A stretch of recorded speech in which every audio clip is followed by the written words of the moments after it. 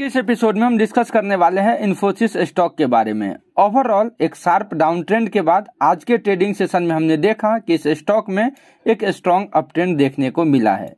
लेकिन personally view अभी भी इस स्टॉक में बुलिस नहीं है। फ्रेश बाइंग अगर शॉर्ट टर्म इस स्टॉक में करना चाहते हैं तो 1550 के ऊपर के क्लोजिंग के लिए श्योरली वेट करना चाहिए। ओवरऑल इस स्टॉक में हमने देखा कि कंटिन्यूस 1900 के प्राइस से ये स्ट्रॉन्ग अप डाउन ट्रेंड में था। और इस स्टॉक ने लगभग 1480 तक के लेवल्स को भी टच करा।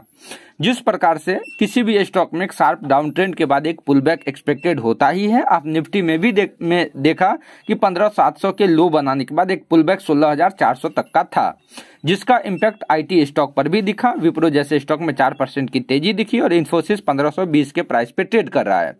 ये प्राइस 1550 1555 60 तक के लेवल्स को दिख सकता है। उसके बाद अगेन जो पर्सनल व्यू है, वो 1300 तक के 1350 तक के लेवल्स इन्फोसिस में दिख सकते हैं।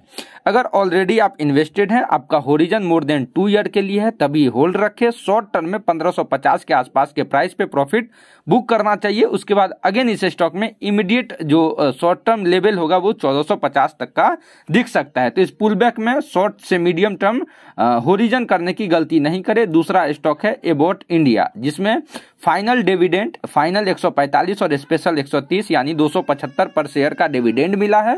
और पर्सनली व्यू अबाउट इंडिया में भी बुलिस है, जहाँ इस समय 1700 17500 का प्राइस चल रहा है।